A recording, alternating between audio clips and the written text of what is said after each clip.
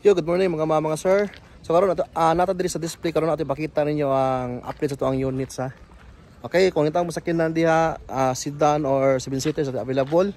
So ato ang Vios nga red color no 2023 available pagyapon na siya. This is 3,000 pa ang mileage ani niya ha.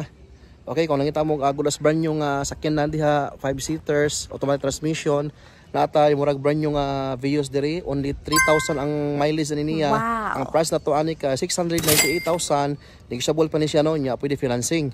Nya so na di pakita is uh, ang usa ka Vios na to nga uh, black no? Ah, same year model 2023 gihapon. Kini siya. Okay ah 2023 model gihapon siya. Nya 3,000 gihapon ang mileage ani niya. Parehas na ni sa og mileage sa puwa So pili lang mo kung sa'yo ganahan ninyo itom or itong red ba. Nya same ra og price no 698,000. Pwede ka pon financing unya pwede pwede mo mo down ano og 70,000 ha. 70,000 yung down payment.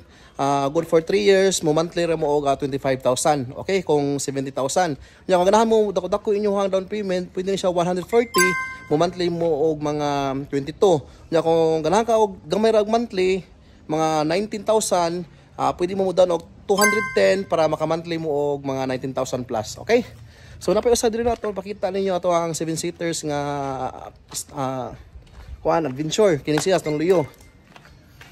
Kini adventure ni siya nga 2017. ah, manual transmission, diesel na rin siya no, 2.5 ang iyang engine. Nya 2017 model, first owner gihapon ni siya. Nya for sale gihapon ni siya no. Okay? So karon ato ni siyang panindutan no. Ato ning ipabapping karon, nya ato ning ipaitom, aw ato ipa ipapintalan to puwa ang kining iyang brake drum o kining caliper niya. Kini para mo nindot ano? Ato ni papintalan og puwa okay? So after a week tanawan ninyo ang ato picture og balik. Ato ipakita ninyo ang kuan ang outcome ani no para mo bagay mo match sa iyahang kuan ba lawas no? Okay so dapat daghan available units diri no? Pakita nato ninyo. Nangita mo og Wigo na tay Wigo din 2018 available automatic transmission okay so napay usa silver dito nya Estrada labag gyapon tay pick up diri Estrada Anya, na 4x4 diri nga kuan ha. Ah, Fortuner. Kung interested mo nakita mo as uh, SUV diha. Anya ato aman ning muni pag napakita na to nya natay Hilux diri no. Ah, automatic transmission. Anya natay bag-o L300 ah only 499 2017 model.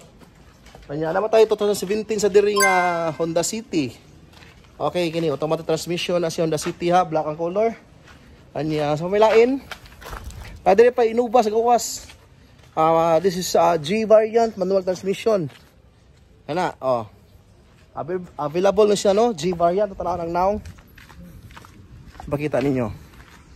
Ad, ah, oh. Dili pa na siya new look no. So kana.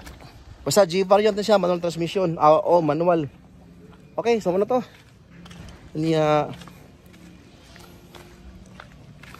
Ano to? Okay, so kung interested mo ha, na mo'y naganahan ato, comment down below lang. Kontaka lang ko ninyo, doawan niyo ato, ato ang page, Unmack to Trading, kaya narito nakapost na yung mga sagyanan, details, tanan, about sa financing, nya mo shipping lang sa nationwide. Okay? So muna to, see you next time mga mga, mga sir. Bye-bye.